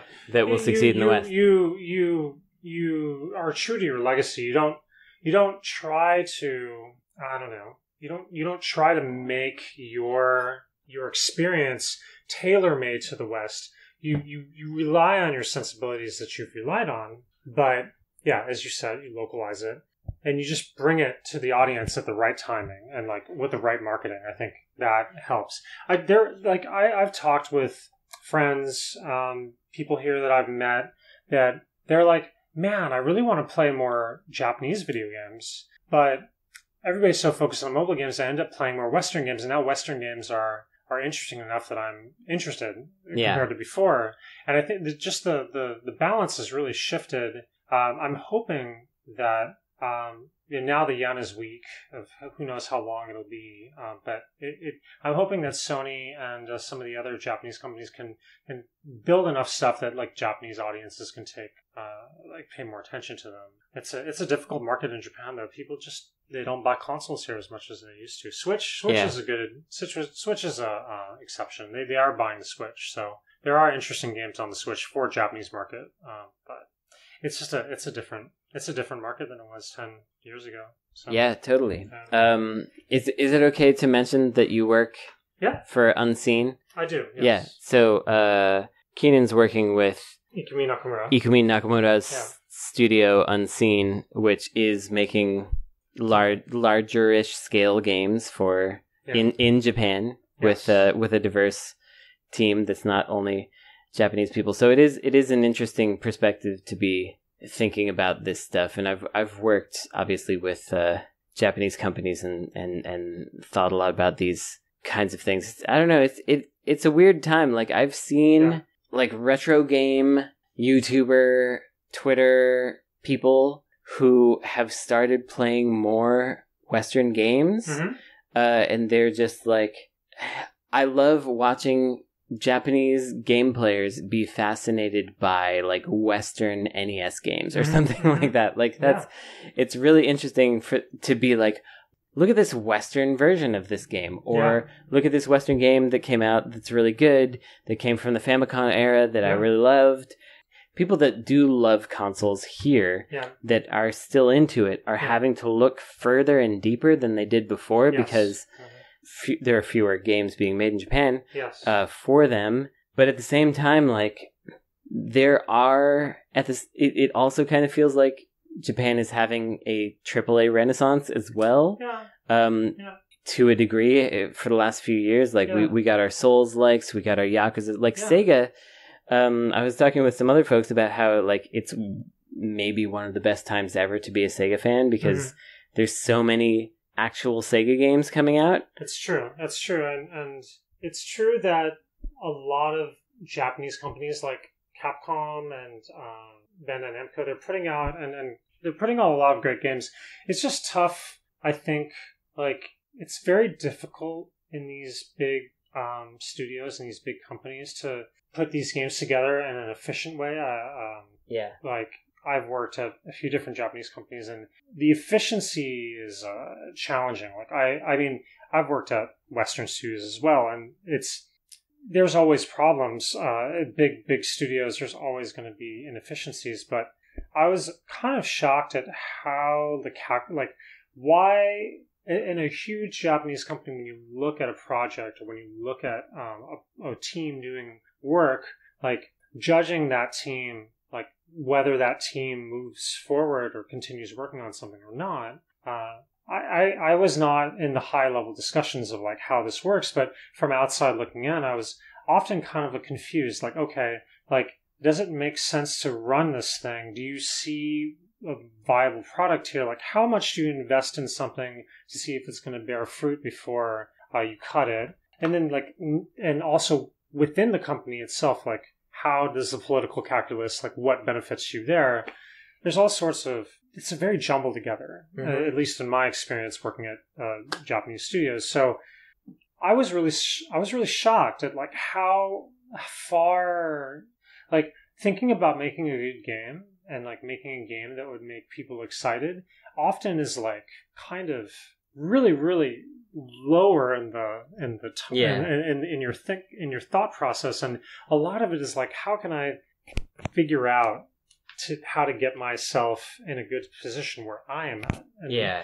and like I Yeah, mean, how can I get that window seat? human nature, right? Of course. But I think the incentives, like creating companies that create incentives for people to do good work is really important. And like, uh, you know, Unseen, um, I think, as I mentioned to you before, like I, joining Unseen was something I didn't expect and I didn't know Nakamura Ikumi very well or anything before I joined. I did, but, but talking with her, you know, she wants to make not only a game. Uh, starting to sound like an advertisement. I'm sorry. That's okay.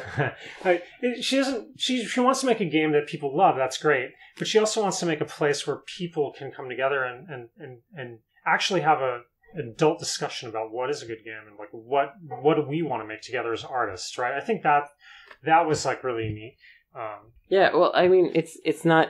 It it may sound a little bit like an ad, but it at the same time, like when she's doing like a video about how they have like feminine hygiene products in their bathroom, yeah. like that's to me that's cool, and that's like something that everyone should have. Yes. But the fact that she is prioritizing making a video of it to Mhm. show Yeah. that like this is important Yeah. and we are here in this industry because like Yeah. yeah. it, it isn't fantastic for women in the game industry Absolutely in japan and so for her to be to to make that video is actually like a political statement and Yeah, so yeah. it's i think it's i think it's good i i appreciate it Well, well, from her, I think, and and I, I can't really speak for her, but for her, it's just like, how can I make the people that work at my studio more comfortable? yeah And and women, as you said, I've worked at Japanese other Japanese studios. There are a lot of women at those Japanese studios, and it's not like they are not well taken care of per se, but you know, there's a lot of like because she is a female CEO, because she is has that perspective working at uh, Capcom and uh, at uh, Tango GameWorks for many many years. She she's worked in so many environment and in many environments that were not really thought from that perspective and that's you know it, it all comes down to it's the same as any uh, in politics right like if you don't have a female perspective at a high level you you th- those things don't don't filter down Yeah. um, so her putting that statement out is very important because it just shows that we uh, as a studio care about female artists who work with us yeah we, we in the end we have to make a game and like on a human level Yes. not not just like Yes. a not like a lip service level it's Absolutely like yeah. it's it's like a physically we care about you yes, yes, yes.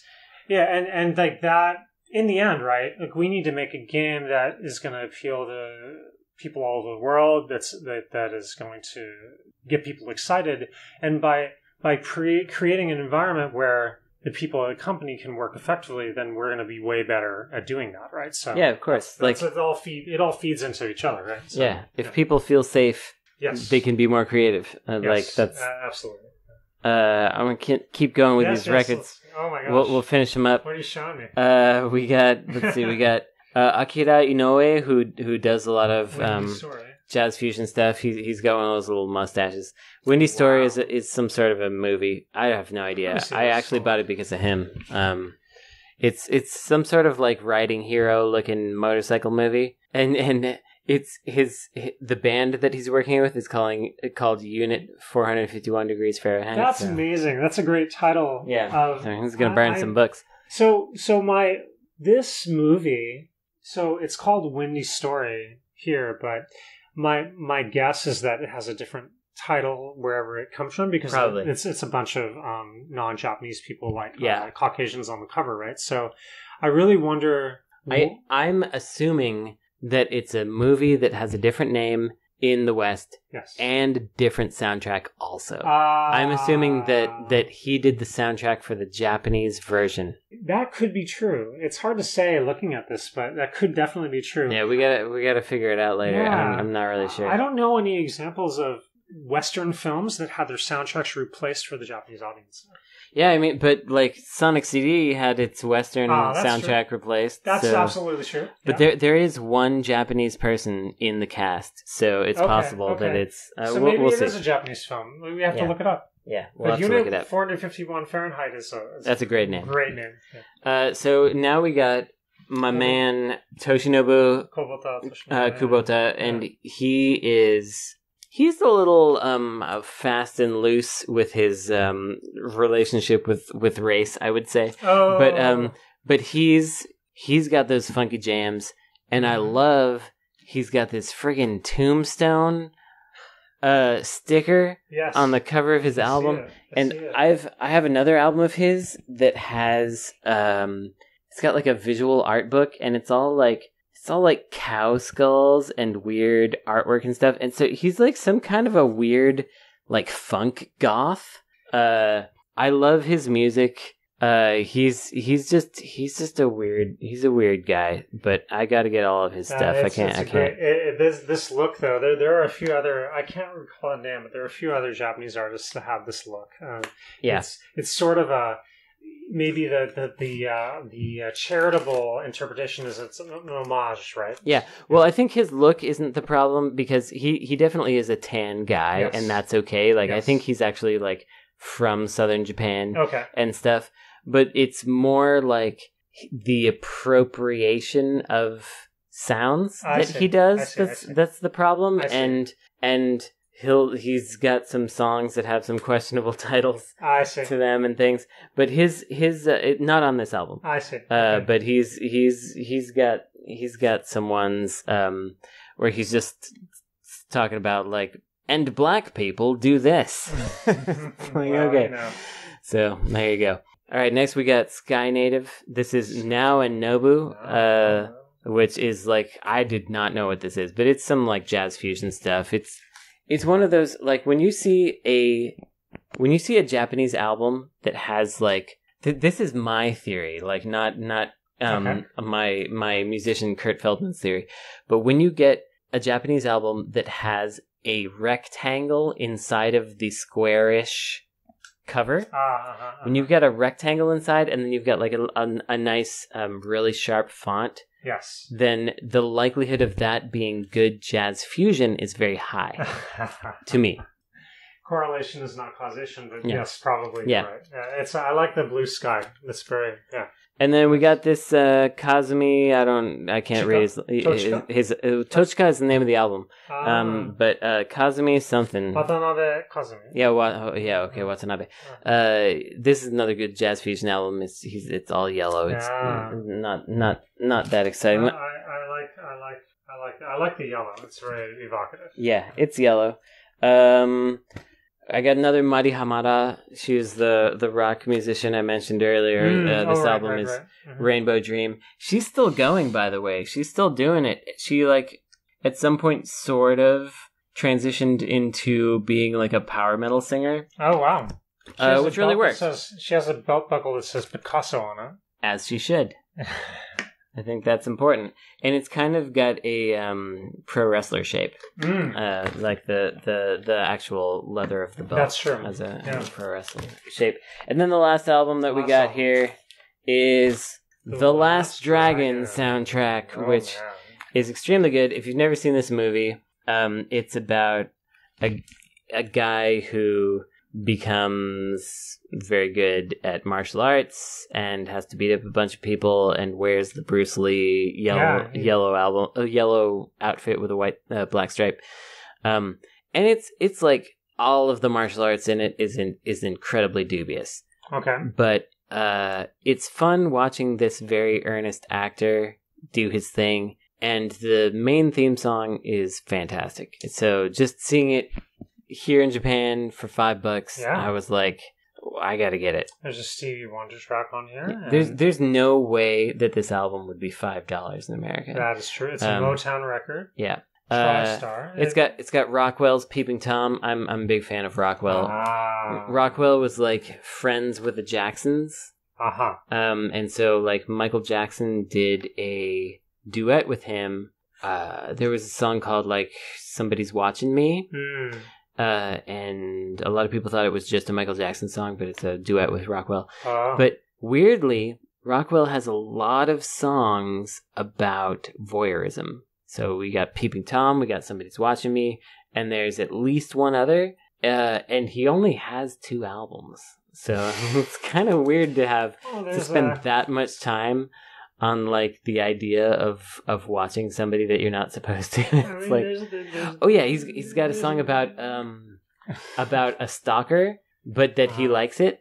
Right, right. Um, how he has a stalker, but it's fine. Yes, yes. That's a that. That seems like an '80s, '90s. Actually, wait, maybe that's the song "Peeping Tom." That Maybe- maybe But uh, well, anyway. But yeah, I, I, I guess this was shot in California. Oh yeah, Yeah, oh yeah. it's. uh I like the um, uh, the traditional uh, Chinese coat, right? The the button down. Oh, yeah. yeah. Oh, you should watch this movie. Uh, it's um, it's bad, but it's good. yeah, yeah, yeah. As as as they are, but it looks uh, the the the the soul blow is uh, beautiful. Yeah, Yeah, oh, it's fantastic. very nice. Okay, well, we've looked through all my records, and uh, now we've kept you on here for about like five million hours. Um, so I guess we should stop talking about records. I'm gonna buy some more records. I'm gonna buy some more video games. I'm not gonna tell you about all of them, but tomorrow. Uh, I'm going to talk about the video games a little bit because I uh, I know that people want to hear it. So Yes, we're going to do it. We're going to talk about it. I want to hear about it. Okay. Well, we'll do it. Um, well, thanks for talking for a while. No problem, man. Nice to nice to see you. It's been uh, quite a few years since we chatted. It has been, and I don't think we've ever hung out in Japan before, right? I feel like we have, but it was like a very limited amounts of time. Oh, okay. I definitely hung out with Tim, and like he took me to the tomato ramen place. That tomato ramen place, I think that it's not vegetarian anymore, ah, and so we we can no longer. They used to not put chicken in the stock, mm. and then they changed it. So they they have like a they had a tomato ramen where you could hold the chicken, and You then it was can't it vegetarian. You can still hold the chicken, but they have broth. now put chicken in the broth where it wasn't before. well, So Tim and I always used to go to Yummy Yummy Curry, which is over here in Nakano, like just a few blocks away from where I am right now. mm, And um, they had a vegetarian ramen for like ten years, and then at some point they stopped doing it and didn't tell anybody. It was Mm. still the veggie the veggie curry, but they they started putting shrimp in it, and um, Tim didn't actually realize it until I went and was like, you know, the last couple times I ate here, it made me feel sick. And he's like, well, that's weird. And so then I decided to actually ask them, like, is this still vegetarian? Like, do you have like fish or shrimp or whatever? And they're like, oh, there's shrimp in it now. We started doing that like two years ago. I was like, that's exactly when I started getting sick eating this. yeah, And so, uh, but now, like, because Tim and I used to, t- I don't know, okay, this is, this is putting too much importance on us. I don't know if it's because Tim and I used to talk about it all the time, but the last time I went there, Mhm. when I asked about the vegetarian curry, they were so, like, annoyed and dismissive of me, Mm, um, which is unusual for a Japanese business to be like, directly hostile, but it was really like get out of my store kind of a vibe. Uh, Huh. what the way they were saying no, like I was like, "Do you still have that? Do you have that vegetarian curry again?" And they're like, "No," just like no. Mm, And I was like, "W- "Could could it be?" And they're like, "No, it's impossible." And then she like turned away from me and walked away. So like I I feel like I got the vibe that like a lot of people had asked for it. yeah, I mean and- that's probably And best- probably a lot of Caucasian people specifically, yeah. which feels like probably it's Tim's and my fault. I mean, there's a lot of non-Japanese people living in Of course. Nakano and Of course. in Tokyo in general nowadays. Um, and I personally am not vegetarian, so but I can to- I can totally see. like as a vegetarian or or a vegan, um, living in Japan can be very difficult, right? Yeah. So it really limits you, and so you have to. I, I'm assuming that the waitress and the business gets a lot of requests for this thing, and who knows? Like you, you would think that okay, Like if they get enough requests, why Right. wouldn't they just still do it? Yeah, exactly right. And and who knows? Like it could be logistical. It could be ingredient. Who knows? It, there's like so many reasons, but I do think there are vegan, vegetarian options. Like we order some um, groceries online, and we can get all sorts of vegan, vegetarian options if we if we want it. Um, but it can be difficult. Is Japanese po- uh, populace in general is not like super receptive to that stuff. Yeah, I mean, we were just in the in the Lawson and the Family Mart trying to find a snack that didn't have meat in it, and it, and it's like, meats. I mean, I've talked about this a million times, but like for real, the plain potato chips have chicken extract, Mhm, mhm. and it's it's like, why? bouillon. just It's- like yeah, you don't you don't you do not need it. yeah, All you need is a potato and salt. yeah. Like that's that's a good chip. yeah, you yeah. can just eat that. And, It's okay. I agree. It can be really difficult here uh, if you are trying to avoid meat. So mm. Yep. But but Tokyo, luckily, it's a big place, and there are enough. I feel like there's enough of an audience here that you can find it. If you, especially if you're living here, if it, it's tough, like if you're trying to, if you're in a spot and you're trying to find something like at the, at the moment. Yeah, yeah, yeah. But- Well, and and that's part of why I'm staying in Nakano because like I know where I can eat for sure, Mhm. and so it's like I'm actually having in a way an easier time this trip Mm-hmm. because I'm not trying to eat everywhere. Yeah. I'm planning my outings around okay, a place where I can eat opens at this time. Mhm. I'm gonna leave after that Yeah, because like then I have a meal and then I'm solid for like X number of hours Mhm. and then as long as I get back home before 8 p.m., Mhm. I can eat another meal Mhm. or whatever. Yeah. I Yep. mean, it, you know, and, and you know, you're meeting with people who are understanding and, and cool, so they'll work with you as as needed. So, but it's it's good. I mean, honestly, like if you can you can find the stuff that works with you here. If you if you look, you can find it. So I'm glad. It's good to it's good that you're here and that you're enjoying yourself while you're here. So Yeah, there's there's there's good stuff out there. You just gotta find it. yeah, look. Check out that Happy Cow website. If I could remember what my login was, then I could have it on my phone, but I god darn can't. Yeah, Happy Cow. Happy Cow is a really good um, website website slash app. Um, you have to pay for the app; it's like five dollars. But you can find vegetarian, veg Oh. veg friendly grocery stores Mhm, mhm. and vegan places, and basically all over the world, and it's all supplied by the the user base. oh, so awesome. it's it's really good. So there's reviews and there's like you know like this they have five things here or they have one Yeah. thing here or Yeah. whatever and it's uh it's really handy and I Yeah. use it all the time in Japan specifically because it otherwise it, it gets kind of hard to find. yeah, it can be tricky. Yeah. Okay, well it's been a long it's been a long run so I'm gonna let y'all go. I'll talk to y'all later. Nice chatting with you all.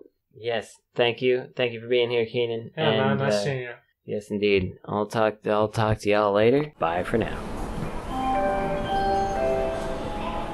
I don't know if this is weird to talk about, but I was thinking as I was doing all these little vignettes and stuff and hanging out and talking about things. It's uh, I'm glad I got to talk to Kenan. I do miss having Tim here. Like talking to Kenan kind of reminded me of that because it's nice to be out here talking to someone else for whom Japan is not like a new, exciting, weird thing. This is where it's kind of like strange to talk about, but I feel like so much of the Westerner in Japan talk that you get is like people being here for the first time and being like, isn't this crazy? And I feel like everybody listening to this, all you people out there, are intelligent folks. You know that this is a regular place, it's just a country. There's a bunch of people who just live here. Uh, in fact, the majority of the people just live here.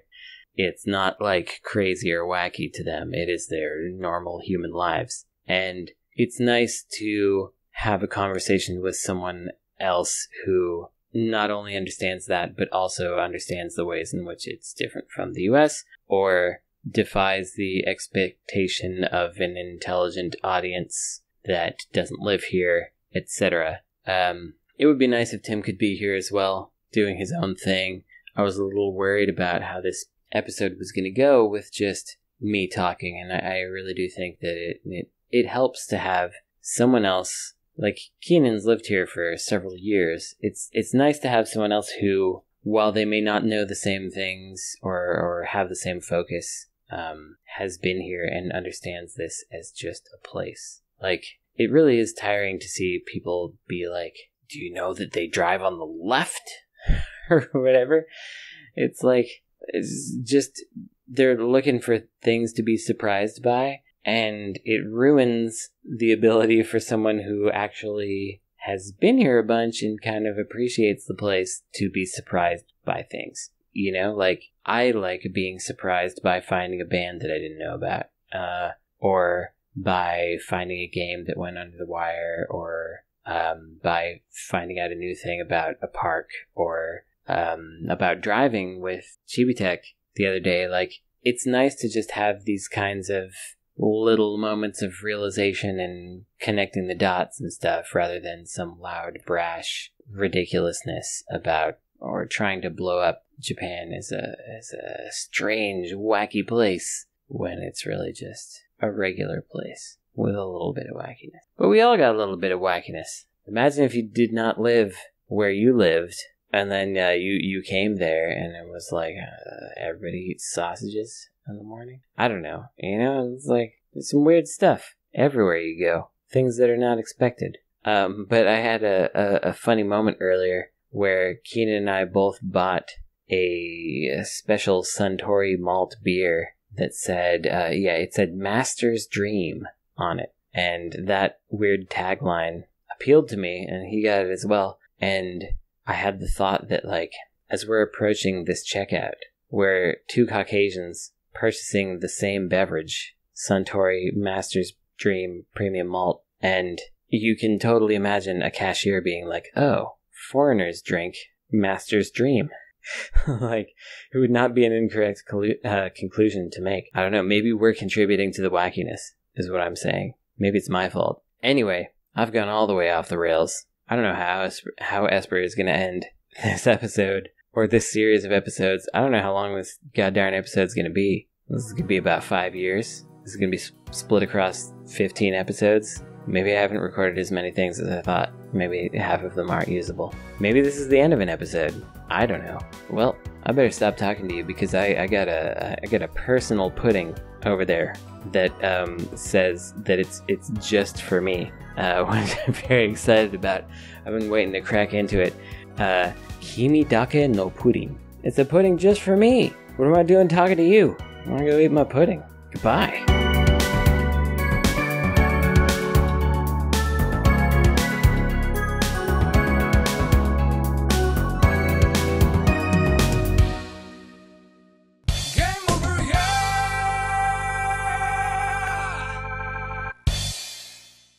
We'll hear more from Brandon's trip in part two of this episode coming soon. Insert Credit Show is a production of Insert Credit. This episode was hosted by Brandon Sheffield and features Chibi-Tech and Kenan Alpay. Insert Credit Show is edited by me, Esper Quinn, with original music by Kurt Feldman. Thanks for listening.